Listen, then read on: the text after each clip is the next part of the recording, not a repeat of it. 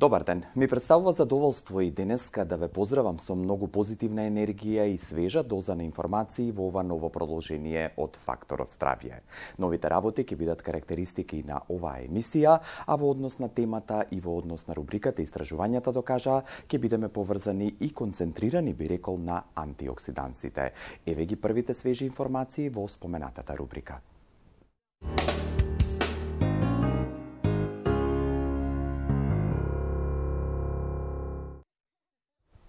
Во денешно современо време би рекол дека многумина зборуваат за антиоксидансите свесно или несвесно, но на што е докажано, клинички испитано и научно пред се потврдено, го реферира Светската здравствена организација постојано и јас ги цитирам токму нивните наоди публикувани на глобалната мрежа, а кои се однесуваат на антиоксидансите. Она што е основно да се знае за нив и кое што треба да го земете во предвид се две работи. Првата дека го забавуваат старењето на организмот и втората втората го јакнат и го подигнуваат нивото на имунолошкиот систем. Тоа е основна, би рекол, цел и основна база на она што треба да се случува во организмот за да ги одложиме или никогаш да не се појават одредени состојби или болести. Значено е уште да се каже, ја цитирам Светската здравствена организација, дека антиоксидансите може да се земаат како подкрепа на медикаментозната терапија, но и во превентивни цели во текот на целата година. Токму антиоксидансите споменав и во оваа прва рубрика и во однос на темата денеска играат централна улога во фактор здравје,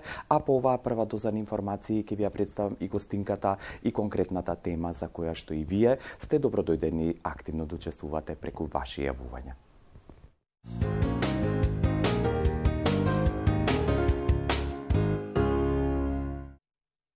Употреба на антиоксиданси во лето, да или не? Ова е дилемата со која што денеска ќе се соочиме и ќе ви дадеме конкретен и дециден одговор за тоа колку, како и кога треба да се земаат антиоксидансите. За тоа денеска на гости би рекол ја имаме доктор Валентина Крстеска, која што е раководител на Липодиет центарот од Скопје и воедно дел од стручниот тим на Викторија Вајт компанијата, која што е ексклузивен застапник и дистрибутер на брендовите G132, G132 плюс Natural Famex и Gekits за Република Македонија.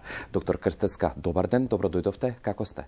Добар ден, благодарам на поканата. Бидејќи денеска зборуваме за тема која што реков е актуелна, реферира постојано Светската здравствена организација за употребата на антиоксидансите, онда што би сакал на почеток да го потврдите и дефинирате е што всушност се тие и која е нивната функција во организмот. А, Антиоксидансите се многу важни молекули кои што во организмот имаат една заштитничка улога. Тие ги неутрализираат слободните радикали и на тој начин го уништуваат и го неутрализираат нивното штетно дејство, го, како што кажавте, го превенираат старењето на организмот и го штитат од многу заболувања, а воедно го подигаат имуниот систем на повисоко ниво имаме а, ендогени антиоксиданси и антиоксиданси кои што ги внесуваме со исхраната. Да, односно на дворешни и внатрешни кои што ги внесуваме. Благодарам за овој вовет кој што верувам ќе биде провокација и задоволување на вашата љубопитност, а доколку е така докажете ни со присуство пред ТВ екраните и ваши прашања во продолжение денес во Фактор здравје.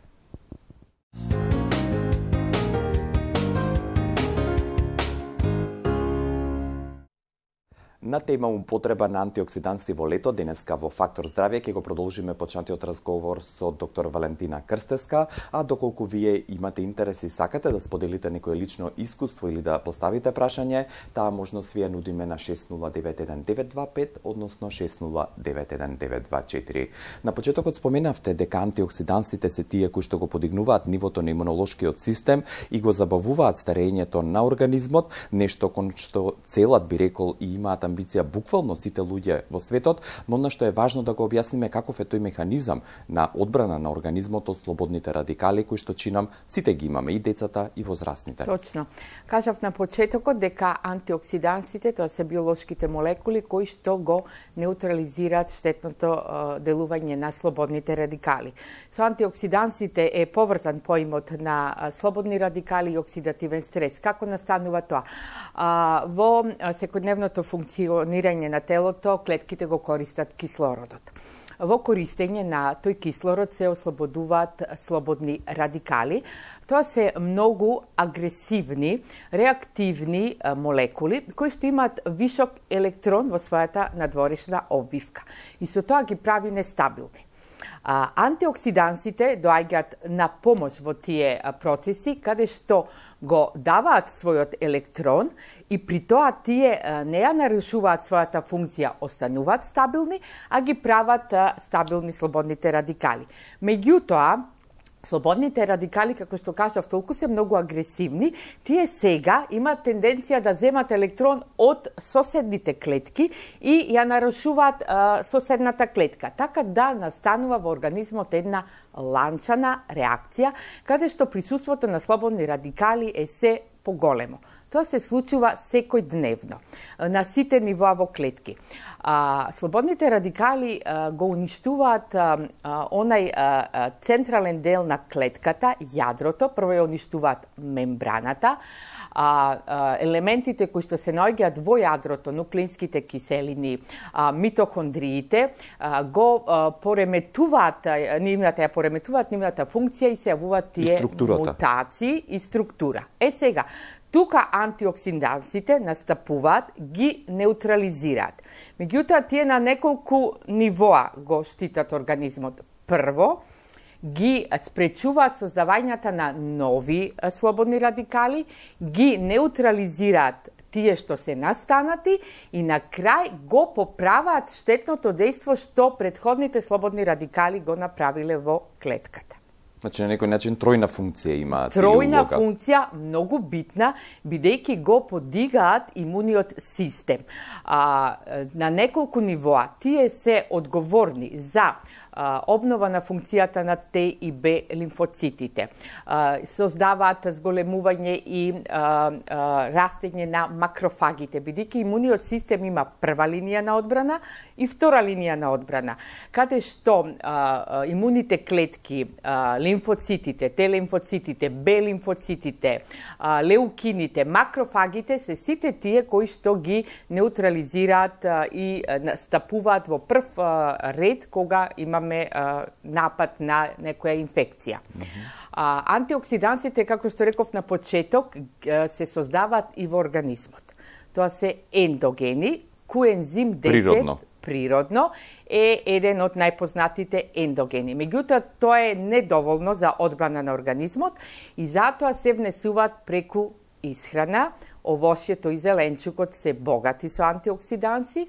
Тоа се витаминот А, витаминот се Е, селенот, антиоксиданси од група на ликопени, тие се бета-каротените, полифенолите, така да богатството на антиоксиданси во зеленчукот и во вошјето се намалува со нивната термичка обработка и затоа се поставува прашањето дали да се внесуваат како е, суплементи и е потребно во текот на целата година да имаме дополнителен внес на е, антиоксиданси како суплементи. Вие го начнавте и моето следно прашање кое што всушност и на некој начин го одговоривте во предходната ваша изјава велејќи дека секојдневно, буквално секојдневно се ствараат слободни радикали и организмот се бори да ги одбрани или да се одбрани преку тие антиоксиданси и тоа значи дека она што не е и тема денеска, дали антиоксиданси треба да се земаат во лето?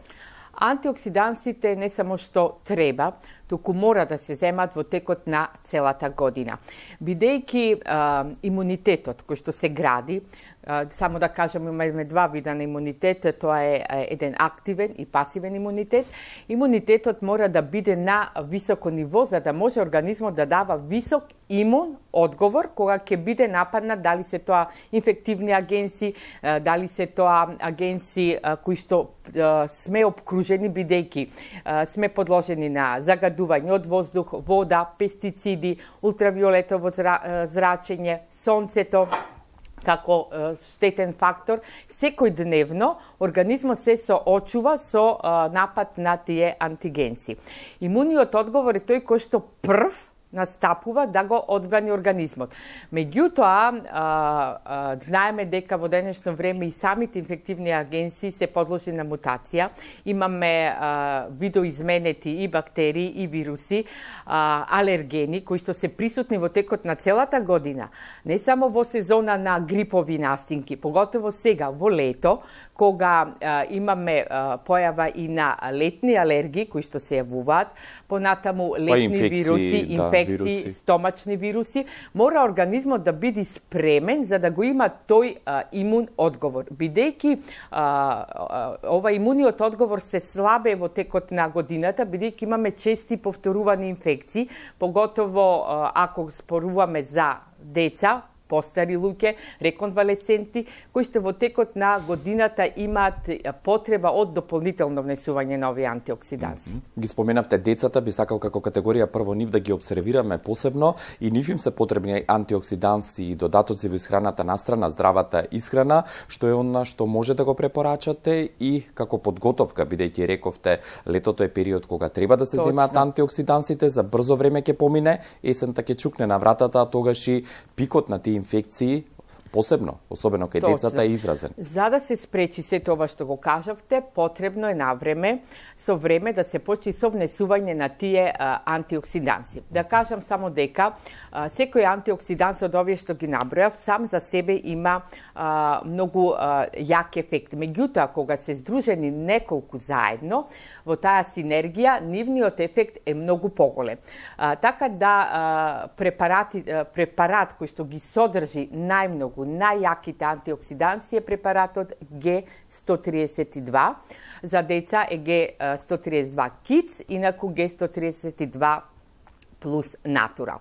Во себе ги содржи најаките антиоксиданси, како што кажав, а, а, тука спаѓа реиши, печурката, која што е носител на органскиот германиум. А, тука спаѓа ликопенот, кој што е изолиран од црвениот патлиџан, богат со бета-каротени. Тука е матичниот млеч, богат знаеме колку матичниот млеч има своји протеини и а, а, мине, овај витамини. А, екстрактот од шипка, кој што е богат со витамин С, екстракт од а, а, куркума, а исто така содржи и полифенол, тоа е ресвератролот. Е сега, еден ваков препарат кој што ги содржи сите овие во концентрација која што е доволна за еден детски организам, тоа се 100 милиграми во текот на денот. Препаратот е во кесичка, се раствара во вода и се пие. Тоа е еден убав и пријатен вкус на кајсија, децата многу го сакаат и во текот на денот доволно е само една кесичка. За да се превенираат сите овие а, инфекции кои што ги очекуваме во сезоните на грип и настинка, треба да се почне 2 до 3 месеци предходно. Значи во овој период, иако е лето, е потребно а, по една кесичка во текот на денот. Бидејќи децата имаат многу а, а, слаб имунитет, кој што треба да се надградува. Додека се мали, тие го имаат имунитетот преку мајчиното млеко. После третата година, кога одат во градинка, кога го имаат тој социјален момент од делување од дома, мешање со други деца, понатаму во предшколска возраст, во школска се јавуваат многу чести повторувани инфекции и заради тоа да се спречи потребно е секојдневно како што кажав, барем последователно во два месеци по една кесичка од гекиц. Да, и она што е важно да се каже, тоа е најдобро да се раствори во вода или во друга течност. Најдобро е во вода, бидејќи реков дека вкусот на кајс, е вкус на кајсија, еден убав напиток кој што ќе ги задоволи дневните потреби на едно дете над 3 годишна возраст. Да, ви благодарам за овој прв дел од разговорот и аспектите кои што ги презентиравте. По блокот реклами ќе ја прошириме темата и ќе се осврнеме на антиоксиданси и нивното дејство, посебно кај спортистите, рекреативците и за жал лицата кои што имаат некое хронично заболување или она најтешка група на заболувања, а тоа се малигните болести.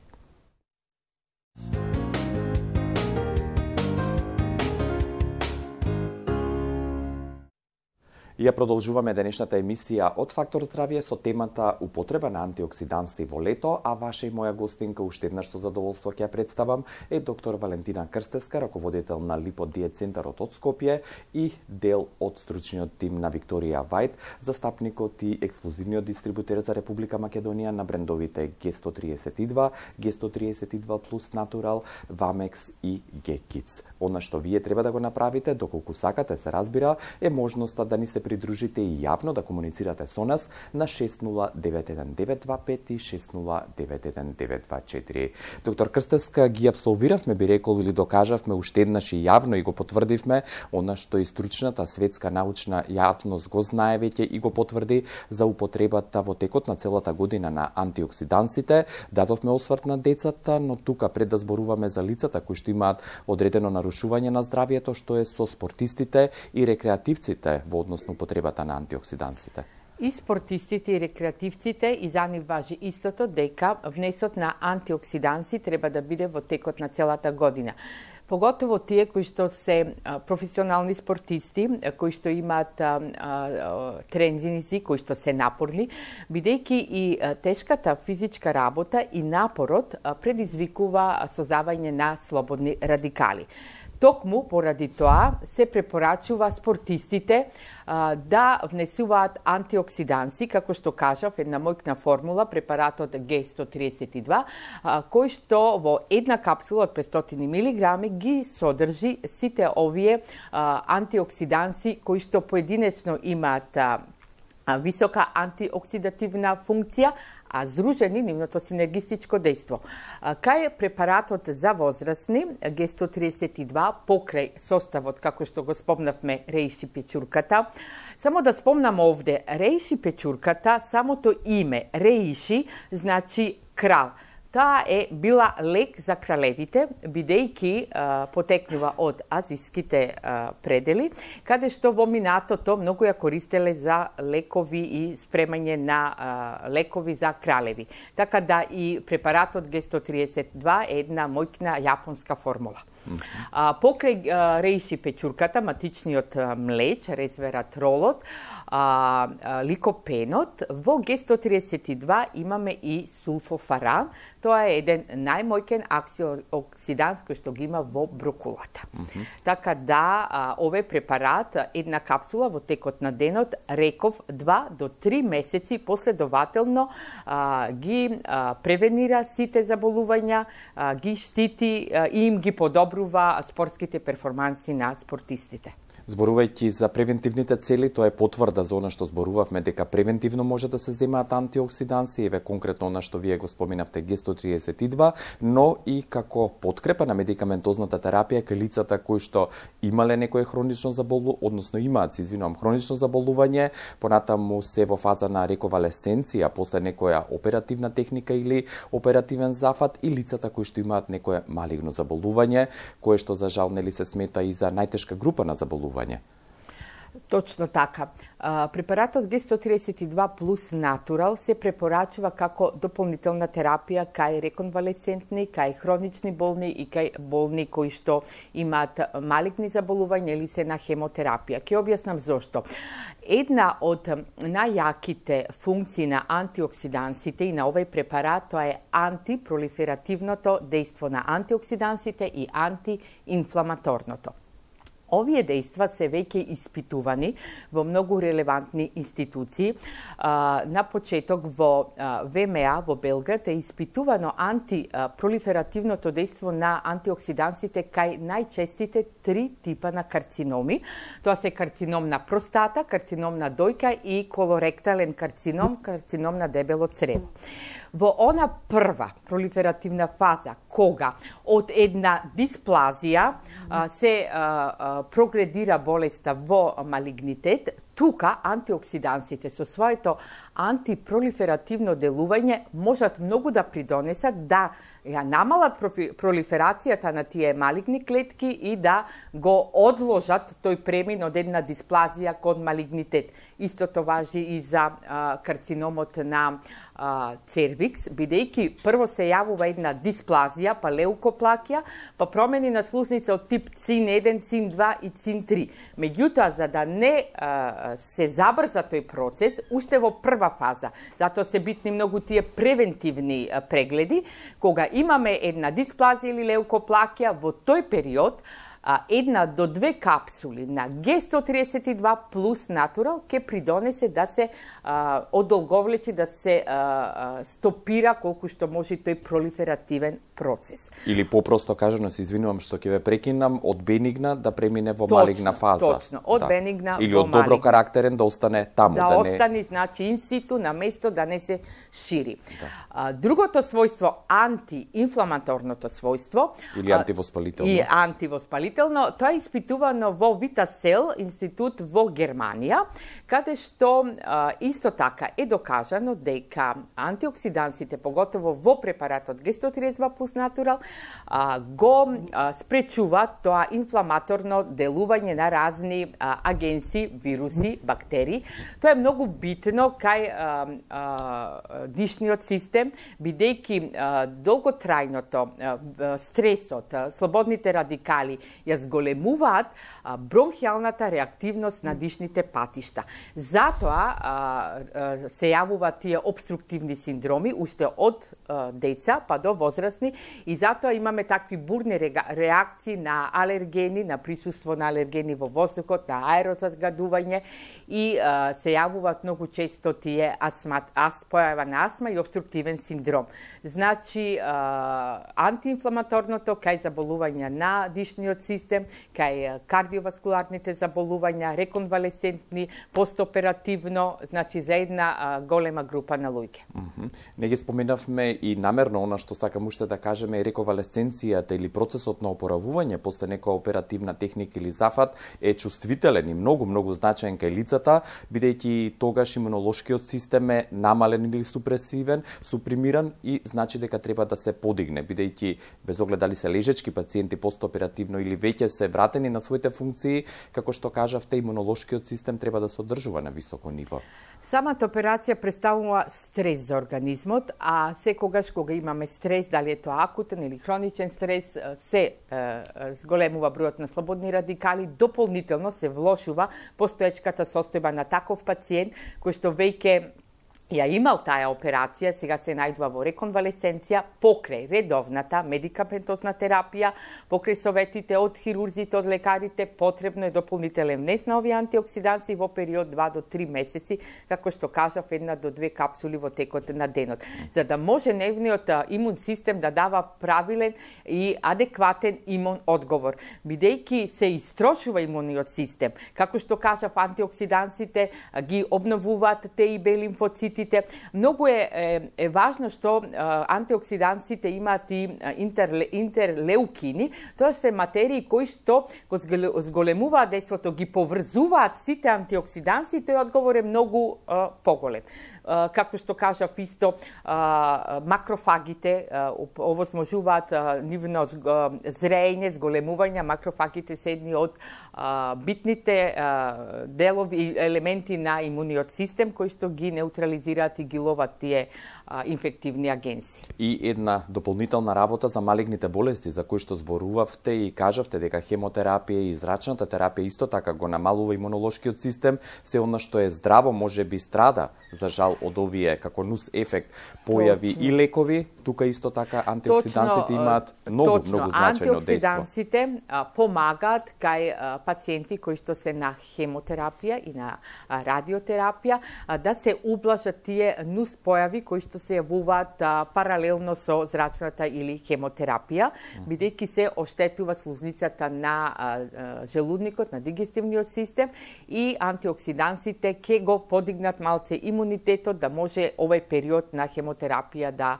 а, помине со многу помалку а, несакани ефекти. Да, и уште еднаш сакам да подсетам дека вашите јавувања и вашиот интерес го очекуваме. Разговараме денеска во Фактор здравје на тема употреба на антиоксиданси во лето, појава која што абсолвиравме и тоа точно, веќе кажавме, треба да се применува во текот на сите 365 дена, не само во овој период или кога ќе се јават инфекции, туку напротив, напротив да се превенираат овие појави, а ваша и моја гостинка уште еднаш ќе подсетаме доктор Валентина Крстеска, раководител на Липодиет центарот од Скопје и дел од стручниот тим на Викторија Вајт, ексклузивниот застапник и увозник на брендовите G132, G132 плюс Natural, Gekits и Vamex. Она што сакам уште да ве прашам, кога веќе го споменуваме Липодиет центарот, бидејќи секојдневно, буквално секојдневно работите со лица кои што сакаат и да ја намала телесната тежина, но без оглед дали е тоа медицински или предизвикано од естетски причини и таму имунолошкиот систем се сеќавам дека споменувавте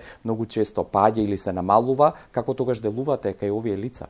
Да се подигне тој Кај сите тие кои што се на липосукциската исхрана, во програмата се препорачува покрај а, нашите препарати липо алфа и липо бета кои што ги даваме, а, да се земат и дополнително антиоксиданси, бидејќи после 48 часа телото влегува во фазата на кетоза, каде што нормално имаме пат на енергијата, бидејќи во процесот на слабење се топат масните наслаги, се ослободува ацетонот, ацетонот излегува преку дишење, потење, мокрење, во тој момент а, паѓа енергијата и за да може еден таков човек да ги а, нормално да си ги извршува секојдневните обврски, се препорачува по една капсула на а, антиоксиданси во текот на процесот на слабење. Mm -hmm. И она што го кажавте уште еднаш, инфекциите или тие воспалителни процеси се оние кои што го прават организмот дисбалансиран или го изместуваат на некој начин од рамнотежа. Во овој период од летото го споменавте дигестивниот систем како најмногу загрозен и нападнат,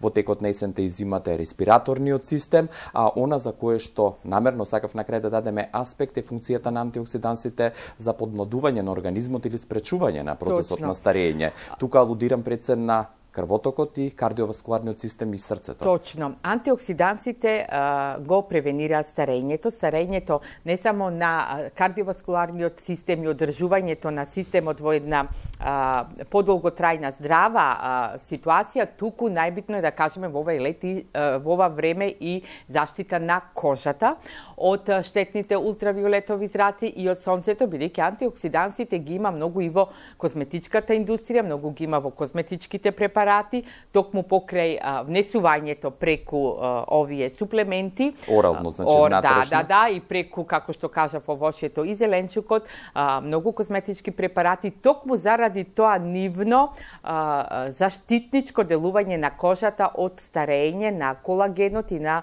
површинскиот слој од кожата. Инаку за кардиоваскуларниот систем ги одржуваат витални крвните садови, спречуваат појава и наталожување на холестеролот и на триглицеридите и на тој начин ја одржуваат виталноста на крвните садови. Mm -hmm. Ги споменав намерно крвните садови и кардиоваскуларниот систем, бидејќи во лето многу, многу се чести и мозочните, но и срцевите удари, за жал. Точно. Та, тоа промена на притисокот во текот на летото, а, а, како што кажав, напорите, физичката работа, поготово за луѓе кои што во лето, градежни работници кои што работат надвор под неповолни временски услови, а, многу често се јавуваат кај нив тие мозочни и срцеви инфаркти, така да убаво е пак да повторам два до три месеци во текот на годината пред лето да се применуваат антиоксидансите. Да. Кажавте дека и она што е важно за антиоксидансите е нивното дејство во однос или синергија, бидејќи имаат комплексна улога, но секогаш да не ги заборавиме и зеленчукот, овошјето или здравата исхрана во однос на конзумирањето и полесната храна, посебно секогаш, во овој период да, од годината. Овошјето и зеленчукот само кажав дека треба многу да се внимава како се внесува свежото овошје и зеленчукот се многу побогати со антиоксиданси, бидејќи термичката химската обработка го а, намалува а, ги намалува антиоксидансите. А, исто така а, како што кажав а, а, присуството на ултравиолетовите зраци во лето, сето тоа го исцрпува организмот уште повеќе. Дехидратацијата, затоа треба повеќе вода во текот на лето и сето тоа да ги да се надокнади она што се губи. Да, и друг аспект за кој што денеска немаме време да зборуваме и квалитетот, начинот на одгледување на овошјето и зеленчукот. Тука пред се алудирам на сите овие Пестицидите, да, да загадувањето на почвата. Кои што не одат во прилог на искористување на тие хранливи да, материи кои што ги содржат. Затоа кажав, една капсула Г132 плюс натурал со 500 милиграми, колку што содржи, ги содржи а, дневните потреби за антиоксиданси на организмот. И само како заокружување, кога веќе спомнувавте на овој разговор за употребата и земањето на Г132 плюс натурал, кога е најсоодветно да се зема во превентивни цели како подкрепа на медикаментозната терапија во смисла на време или период од денот? Дали пред јадење, по јадење? Наутро, значи во превенција по една капсула наутро, а како дополнување на медикаментозната терапија два пати во текот на денот. Да. Наутро и за ручек. Да. И за крај пред да Да ви се заблагодарам, остана ли нешто што може би вие како совет и препорака сакате да го упатите до нашите гледачи? А, тоа да секој води сметка за своето здравје, да внимава што внесува, како внесува, да а, прима антиоксиданси во текот на целата година, не само во сезоните на грип и настинка, за да може а, да биде задоволен и да има здравје. Да, ви благодарам, доктор Крстеска, за вашето гостување, за присуството и за оваа нова доза на свежи информации што ги презентиравте во однос на антиоксидансите и покана повторно да бидете дел од Фактор Здравје. Благодарам и вас. Благодарам уште еднаш, имајте убав ден. Благодарам за вашето внимание и доверба и денес со кое што не следевте во Фактор Здравје и како порака на крај, уште сакам да дополнам кога бирате антиоксиданси, тоа да бидат проверени, клинички докажани со научен сертификат би рекол во однос на нивниот нивниот квалитет и значење за целокупното здравје. Ви благодарам уште еднаш за вниманието, останете со нашата програма и се гледаме утре. Поздрав, пријатно.